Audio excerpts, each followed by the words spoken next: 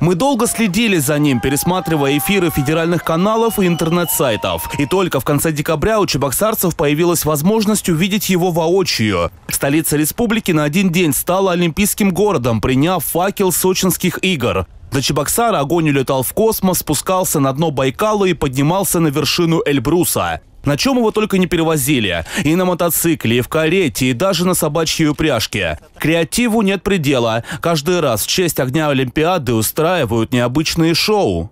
И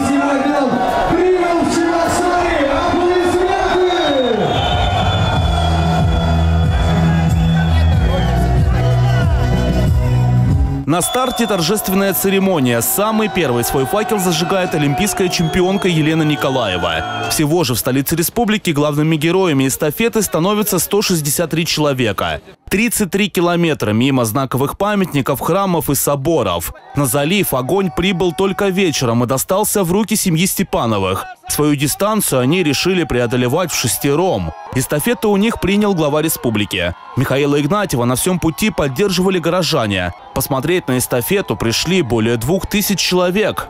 Я благодарен нашим жителям Чувашской республики и нашим дорогим гостям, которые приехали и оказали нам содействие провести этот праздник на высоком уровне.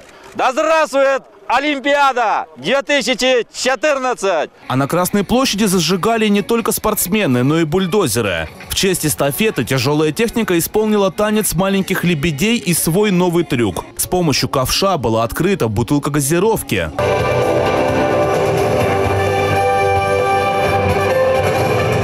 Эстафета завершилась на стадионе «Олимпийский». Финиш на главной сцене. Самый долгожданный момент. Чашу зажигает чемпион мира по лыжным гонкам Владимир Воронков.